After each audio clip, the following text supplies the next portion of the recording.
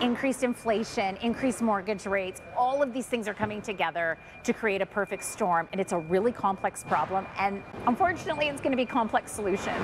The Calgary Food Bank says it's worried to see an increasing number of working Calgarians seeking food bank hampers as they're struggling to afford groceries amidst increasing housing costs and inflation.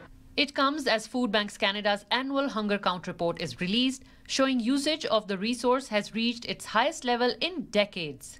So these are folks who are going to their jobs, they're being paid nominal wages, and they just cannot make ends meet. And almost one third of our clients today cite working income as their number one source of household revenue.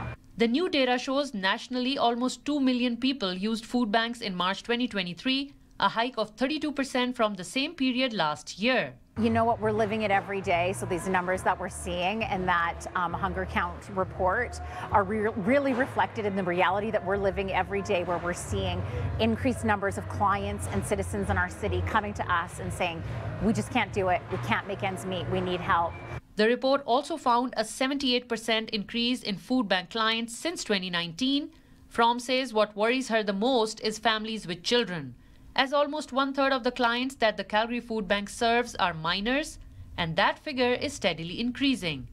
At the same time, she's glad the annual report has finally started the much needed conversation. And so I think that's the first step is that we need to start having the conversation at different levels of government with different community organizations and with our community at large. The Calgary Food Bank says they are overwhelmed but still encourage anyone struggling to put food on the table to reach out for help.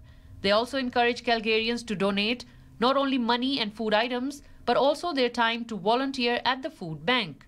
In Calgary, Henna Saeed, City News.